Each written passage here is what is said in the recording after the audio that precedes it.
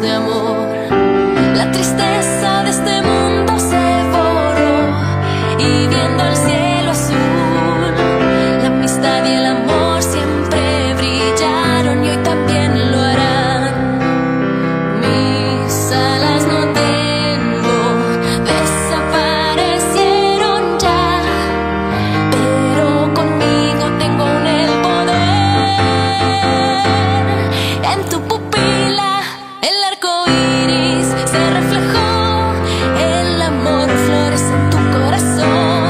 sigue teniendo fe y esperanza en que el mañana va a cambiar.